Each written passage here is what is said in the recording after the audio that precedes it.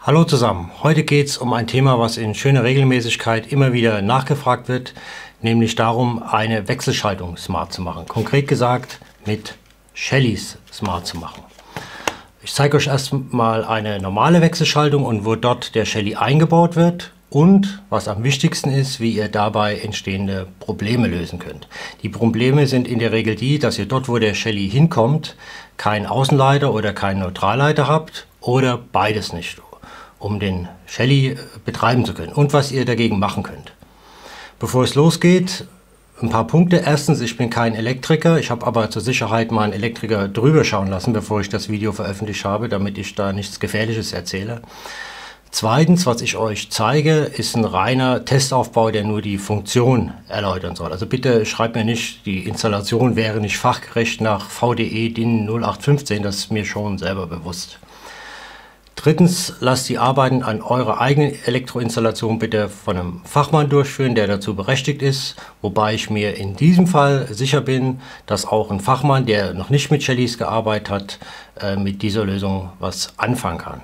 Und viertens, äh, es gibt ein paar Grundlagen für Arbeiten an der äh, Elektroanlage, genauer gesagt fünf, die zu beachten sind, die sage ich euch aber nicht, weil die euer Elektriker sowieso von selbst weiß. Okay, ich verlinke sie euch in der Beschreibung, nur zur Info.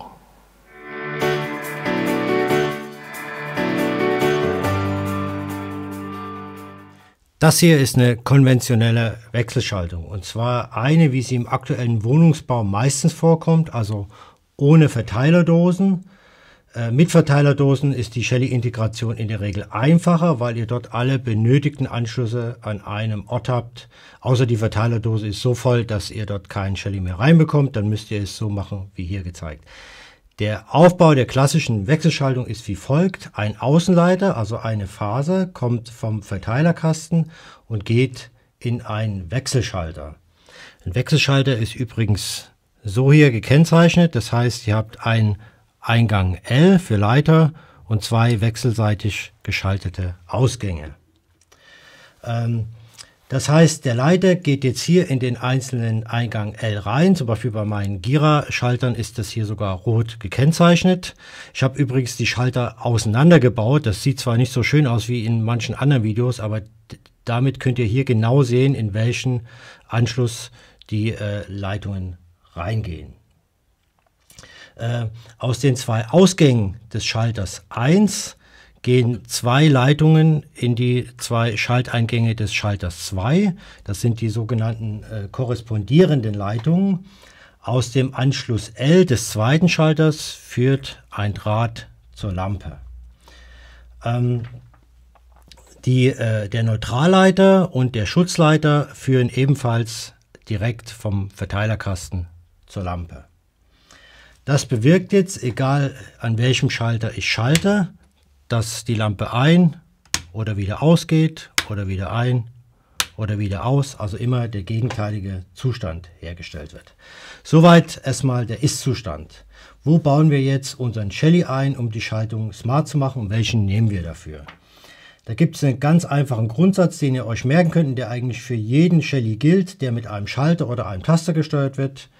Äh, nämlich die Reihenfolge ist immer Schalter schaltet Shelly und Shelly schaltet Verbraucher. Wenn wir das berücksichtigen, dann können wir schon logisch selbst herleiten, wohin der Shelly kommt, nämlich hinter den Schalter und vor den Verbraucher, also genau hierhin. Das heißt, hinter die Dose von diesem Schalter hier. Äh, dafür nimmt man in der Regel einen Shelly 1 oder einen Shelly 1 PM, das ist jetzt hier ein 1 PM. Den nehme ich meistens, obwohl der etwa 4 Euro teurer ist. Erstens, weil der auch Strom messen kann. Und zweitens, dadurch, dass er nicht potenzialfrei ist, spare ich mir eine Klemme und somit etwas wertvollen Platz in der Unterputzdose. Fertig angeschlossen sieht das Ganze dann so aus. Was hat sich geändert? Die Leitung, die aus der Klemme L vom Schalter 2 kommt, geht jetzt nicht mehr direkt zur Lampe, sondern geht in den SW, also den Schaltereingang vom Shelly und vom Shelly aus dem Output, also Anschluss O, geht das Kabel weiter zur Lampe. Also genau wie wir es uns gemerkt haben, der Schalter schaltet den Shelly, der Shelly schaltet den Verbraucher. Ganz logisch. Zusätzlich braucht unser Shelly natürlich auch selbst noch Strom, um arbeiten zu können. Den, also den Leiter und den Neutralleiter, äh, habe ich mir von der Steckdose hier geholt, die unter dem Schalter liegt. In meinem Fall jetzt hier daneben, aber normalerweise ist ja unten drunter äh, eingebaut. Und wichtig, an der gleichen Sicherung hängt. Äh, in der App müssen wir jetzt nur noch den Schaltflächentyp des Shellys auf Edge einstellen. Und dann probieren wir es einfach mal aus. Wie ihr seht, funktioniert wunderbar. Ich kann von jedem Schalter ausschalten, von der App, Alexa, Google Home und so weiter. Und in der App wird auch immer der richtige Schaltzustand angezeigt. Also alles prima, oder? Okay, ihr habt sicher schon gemerkt, ich habe mich hier eines kleinen Tricks bedient. Bei mir ist nämlich ganz zufällig genau unter dem Schalter, wo der Shelly verbaut werden muss, also hier, eine Steckdose angebracht, beziehungsweise hier ist sie jetzt daneben auf dem Brett. Ähm, und von dieser Steckdose kann ich den Strom, den der Shelly benötigt, dann auch nehmen. Das geht aber nur, wenn die Steckdose genau hier und genau an diesem Schalter sitzt. Wenn sie jetzt nicht vorhanden ist oder hier drüben sitzt an dem anderen Schalter, dann nützt euch das nichts. Wenn das bei euch also genauso ist wie bei mir, dass ihr also an dem, äh, an dem Schalter, wo ihr den Shelly verbaut, eine Steckdose zur Verfügung habt, dann könnt ihr das auch genauso machen. Ist kein Problem, funktioniert wunderbar. Leider ist das oft nicht so. Oft ist es so, dass da, wo wir Wechselschaltung haben, eben keine Steckdosen installiert sind. Äh, bestes Beispiel sind Flure, wo wir fast immer Wechselschaltung installiert haben oder zum Beispiel auch Schlafzimmer. Bei Schlafzimmern ist es meistens so, dass wir einen Schalter am Eingang haben und einen Schalter am Bett. Und am Bett sind auch Steckdosen, zum Beispiel für die Nachttischlampen. Die Steckdosen sind aber in 30 cm Höhe, der Schalter auf 1 Meter. Wenn ihr jetzt einen guten Elektriker habt, so wie ich, dann äh, hat er das Kabel gleich mit hochgezogen und die beiden Sachen sind verbunden. Das ist aber längst nicht immer der Fall. Es kann auch sein, dass der Anschluss der Steckdosen von unten kommt und der für den Schalter von oben und ihr habt keine äh, Verbindung. Lange Rede, kurzer Sinn. Auch dafür gibt es jetzt eine Lösung und zwar mit diesem Gerät hier. Das ist der Shelly 1L. Den kennt ihr vielleicht schon. Das ist ein Shelly, der im Betrieb ohne Neutralleiter auskommt. Das ist erstmal toll, das löst aber nur die Hälfte unseres Problems, weil wir ja nicht nur einen Neutralleiter benötigen zum Betrieb des Shellys, sondern auch einen Außenleiter. Den benötigt auch der Shelly 1L. Da kommt aber jetzt eine weitere Besonderheit des Shelly 1L zum Tragen. Der kann nämlich, wenn er entsprechend angeschlossen und konfiguriert ist, quasi selbst als Wechselschalter fungieren. Und wir kommen so mit den vorhandenen zwei Kabeln aus. Klingt erstmal komisch. Dann äh, blende ich euch jetzt erstmal den Schaltplan ein. Ich verlinke euch das natürlich auch, wo ihr die normale Wechselschaltung, also komplett ohne Shelly und im Vergleich die Wechselschaltung mit dem Shelly 1L sehen könnt. Also hier oben sehen wir erstmal die äh, alte Installation ohne jeglichen Shelly. Und hier unten sehen wir die neue Installation mit dem Shelly 1L. Was sofort auffällt, ist, dass der äh, Außenleiter jetzt nicht mehr an den Eingang L vom ersten Schalter geht, sondern der geht an den Eingang L vom Shelly. Das bedeutet gleichzeitig auch, dass der Shelly jetzt nicht mehr hinter dem Schalter 2 verbaut wird, sondern hinter dem Schalter 1, weil dort liegt ja der Strom, also sprich die Dauerphase an.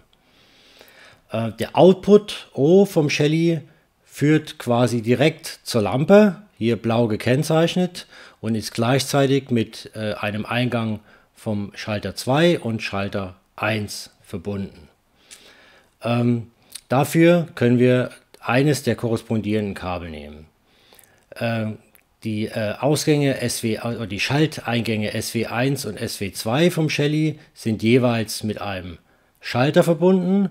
Dafür nehmen wir das korrespondierende Kabel 2, sodass wir mit äh, der Verkabelung auskommen, die wir haben, also mit den zwei Kabeln. Äh, gleichzeitig können wir sehen, dass die Ausgänge 2 äh, von den jeweiligen Schaltern nicht mehr belegt sind. Das heißt, wir würden hier sogar mit normalen Ausschaltern auskommen, eben aus dem Grund, weil die Funktion des Wechselschalters jetzt hier der Shelly übernimmt. Und so sieht das Ganze dann live und in Farbe aus. Ihr seht, die Steckdose ist weg. Die Anzahl der Kabelverbindungen zwischen den zwei Schaltern hat sich nicht erhöht. Es sind nach wie vor die zwei, die in unserer konventionellen Wechselschalterung auch vorhanden waren. Wir brauchen auch keine anderen Schalter oder Taster, ist alles das gleiche. Nur der Shelly sitzt jetzt nicht mehr hinter dem Schalter 2, sondern hinter dem Schalter 1, weil wir dort ja den Leiter auch anliegen haben. Sogar die Einstellungen gegenüber dem Shelly 1 oder 1 PM ändern sich nicht wesentlich. Wir verwenden auch hier den Schaltflächentyp Edge, allerdings für beide Schalteingänge, weil der Shelly 1L hat ja zwei davon. Vergleichen wir es nochmal mit dem Schaltplan. Der Außenleiter von der Verteilung geht direkt zum Shelly in den Eingang L. Aus dem Output des Shelly geht eine Leitung zum Schalter 1, von dort über die interne Brücke zum Schalter 2, wird dort weitergebrückt auf die Lampe und äh, die Schaltereingänge SW1 und SW2 gehen jeweils zu einem Schalter. Also alles, wie es sein soll. Okay, seid ihr gespannt, ob es klappt? An, aus, an, aus. Auch hier wird natürlich, wie ihr gesehen habt, in der App wieder der korrekte Zustand angezeigt und ich kann von dort auch schalten. Also alles wunderbar. Es gibt wie immer natürlich auch einen kleinen Wermutstropfen, ist kein großes Problem. Ich möchte aber darauf hinweisen, die Lampe, die ich hier schalte, das ist eine gute alte 60 Watt Glühbirne. Was passiert aber, wenn ich statt dieser hier ein modernes Leuchtmittel, also sagen wir mal eine 10 Watt LED-Leuchte hier reinschraube?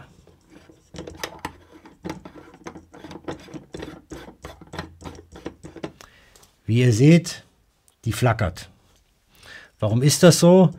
Das liegt daran, weil der Shelly 1L eine Mindestlast von 20 Watt braucht, wenn ihr ihn ohne Neutralleiter betreiben wollt. Wohlgemerkt, äh, einem, die 20 Watt gelten für alle äh, Leuchtmittel gemeinsam, die hier am Shelly angeschlossen sind. Also wenn ich zwei von diesen Lampen hier angeschlossen äh, hätte, dann würde das Problem gar nicht bestehen. Trotzdem, wenn ihr eine Lampe habt, die weniger als 20 Watt hat, dann könnt ihr euch helfen und zwar mit diesem kleinen Teil hier. Das ist der sogenannte Shelly Bypass.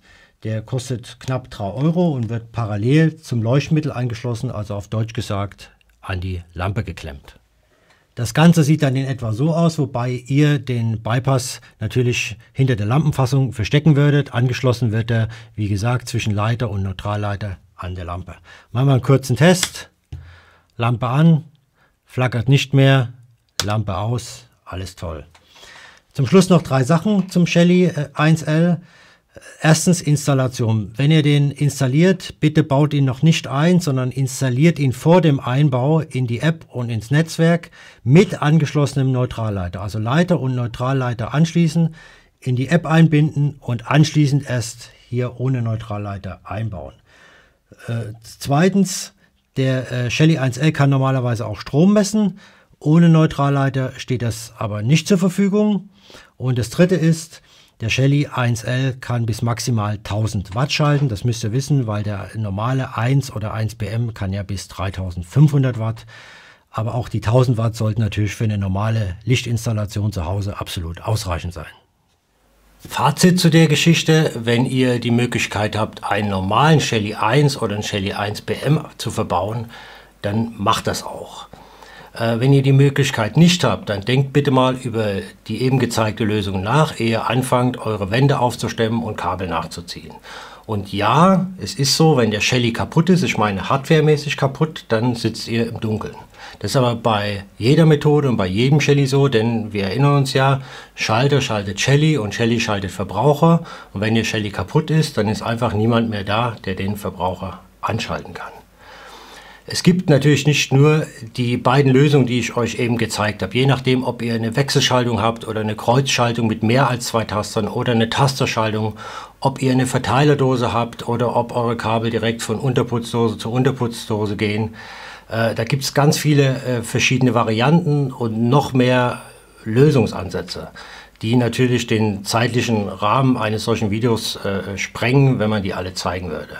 Kleiner Tipp von mir, wenn euch das interessiert, dann geht bitte mal ins Shelly Forum, verlinke ich euch unten. Dort gibt es ein Lexikon und äh, da werden alle Varianten gezeigt, erklärt, inklusive den Schaltplänen. Ansonsten, ich hoffe, es hat euch was gebracht. Viel Erfolg. Bitte vergesst das Abo nicht und bis zum nächsten Video.